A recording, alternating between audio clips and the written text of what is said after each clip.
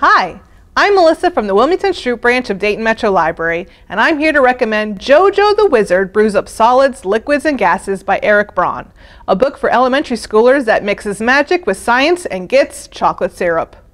JoJo is a student at Ms. Tickle's Academy of Magic. His name used to be just Joe, but he created a spell to double it and never bothered to find a way to change it back, so now he's JoJo instead.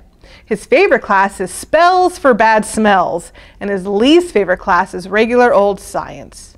When Miss Tickle, the regular old science teacher, tells the class they will be studying the states of matter, Jojo isn't interested. Instead, he decides to make a potion that will turn his homework into chocolate bars. Sadly, his potion doesn't work quite like he planned. It turns his homework into chocolate syrup that spills all over the classroom floor. Luckily, Miss Tickle is able to use JoJo's mistake to show him that states of matter are a lot more interesting than he thought.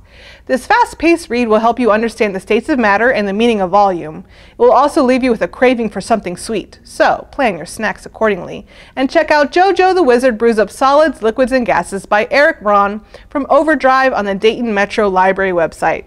Thanks for watching and enjoy the reading.